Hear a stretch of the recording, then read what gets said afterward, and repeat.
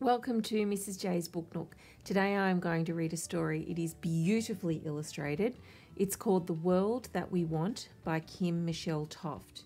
It won an Environment Award for Children's Literature through the Wilderness Society. It was first published in 2004 through the University of Queensland Press. Copyright, text and illustrations 2004, Kim Michelle Toft. This is the air that circles the world that we want.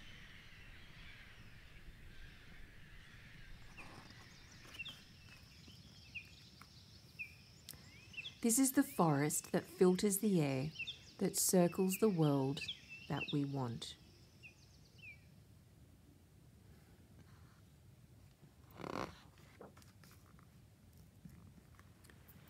This is the river that weaves through the forest, that filters the air, that circles the world that we want.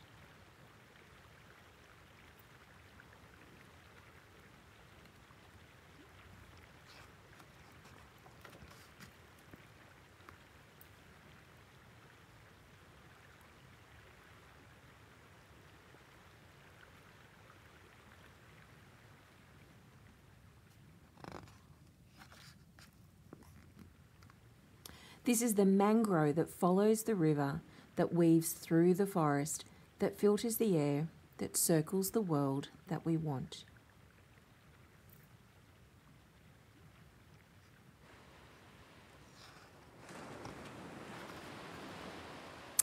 This is the beach that meets the mangrove, that follows the river, that weaves through the forest, that filters the air, that circles the world that we want.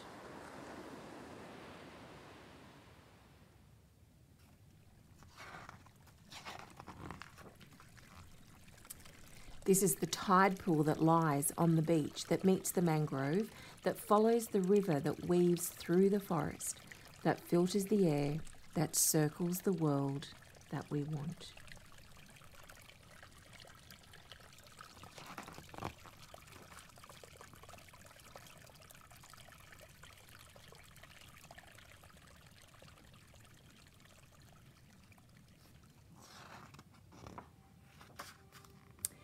This is the reef that feeds the tide pool, that lies on the beach, that meets the mangrove, that follows the river, that weaves through the forest, that filters the air, that circles the world that we want.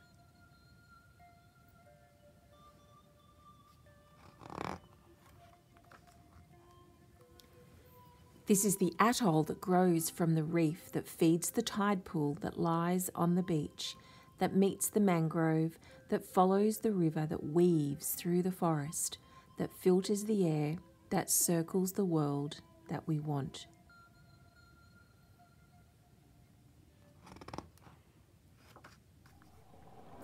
This is the ocean that shapes the atoll, that grows from the reef, that feeds the tide pool, that lies on the beach, that meets the mangrove, that follows the river, that weaves through the forest, that filters the air, that circles the world that we want.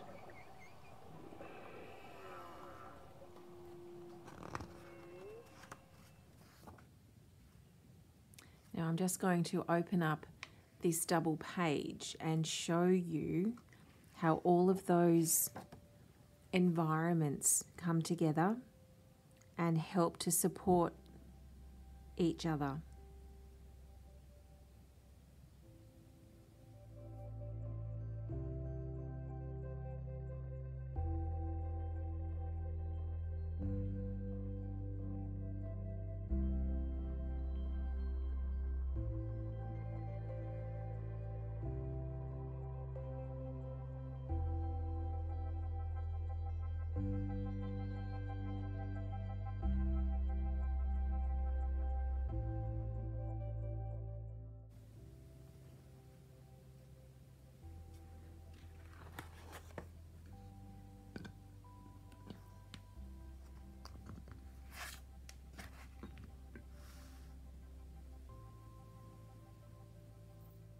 Now let's go back through the book and have a look at how many creatures you could see, how many that you know, and hopefully you may learn the names of some new creatures.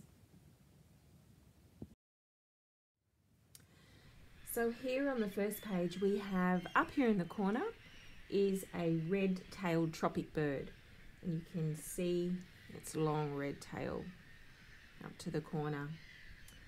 And next to that is a really large heavy seabird called a booby just sitting here. Over here we have a frigate bird and underneath that bird is a sea eagle. They are the second largest bird of prey in Australia. And who can tell me what that one is? That's right, it's an Australian pelican, and that is the largest of the eight species of pelican found around the world.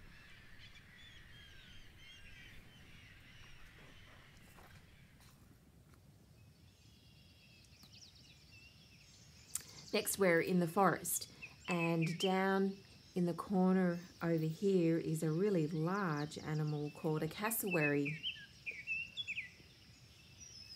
Up here is our spotted cuscus. They're really shy. They sleep most of the day and then they move slowly through the rainforest at night eating fruit and leaves. And there are a couple, one of them's a little bit camouflaged, but the Ulysses butterflies. There's one there and one just over here. And who can see the green python that's just sitting next to the butterfly?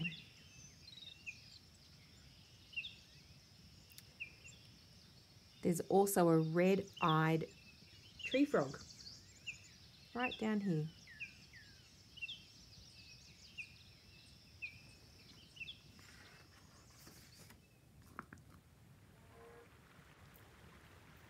Now we're in the river, and I am sure that most of you will be able to name these fish. They are, of course, rainbow fish.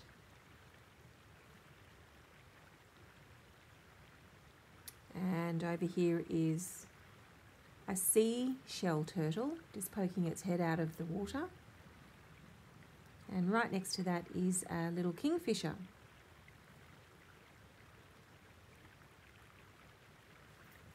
Does anybody know what this one is? It's a water dragon and it's a large lizard. They can run really fast as well as being a strong swimmer. And the crayfish just here. They move across land and they can swim through the water as well.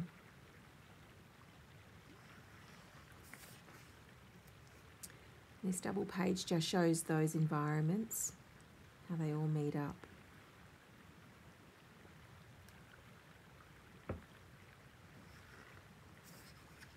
Into the mangrove.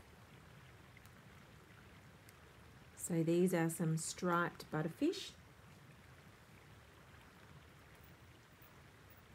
And this here is called a royal spoonbill.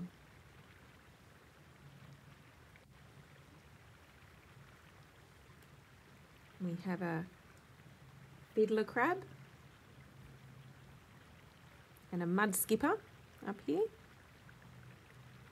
And who can see what's right at the bottom of the page? Just lying very still.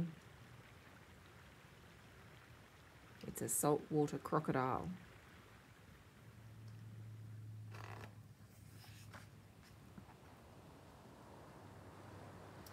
Onto the beach. We start over here with this silver gull. And then there are three green sea turtles. And some scallops. And this here is a Portuguese man of war. You might know them as blue bottles. and there's a little ghost crab that's camouflaged in the sand. Just down here.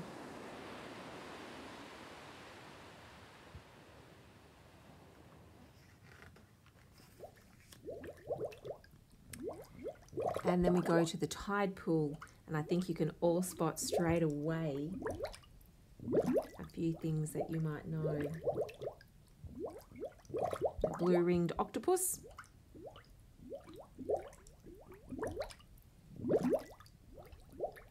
sea star.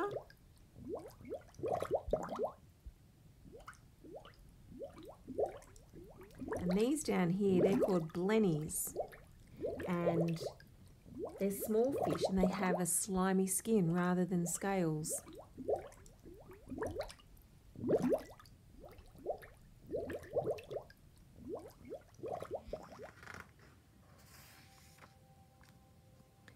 And that's another look at those ecosystems together.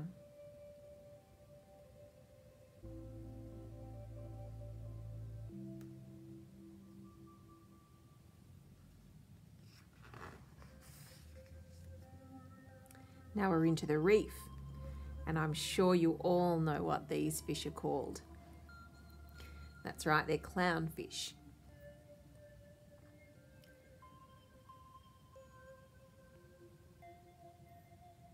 And this funny looking thing is a lionfish.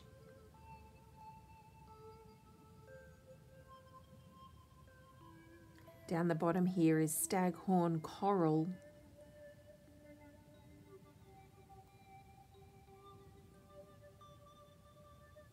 And can anybody see any sea slugs?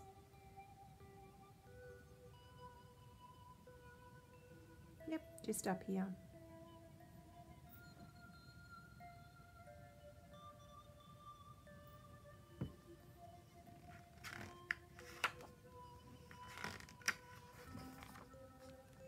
Now we're in the atoll.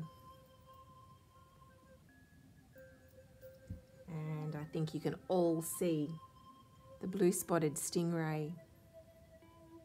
There is a giant clam sitting down the bottom here. And a couple of trumpet shells. And these birds are called black crested tern. They're sometimes called sea swallows because of their forked tail, if you can see there. And this one down here is a pipefish.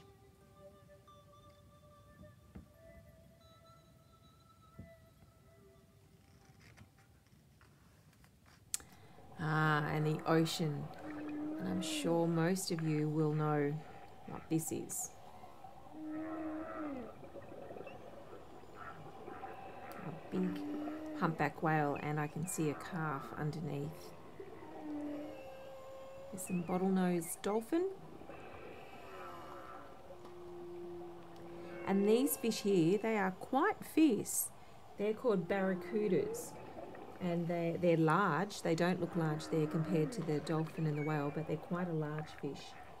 And they move around in packs right through to the reef and they feed on other fish. We have a marlin down here. And this one, this gives it a clue. It's a type of shark. That's right, it's a hammerhead shark.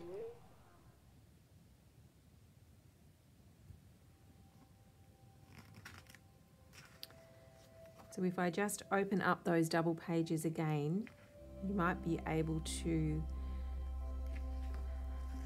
look and see some of those animals and creatures that we just talked about.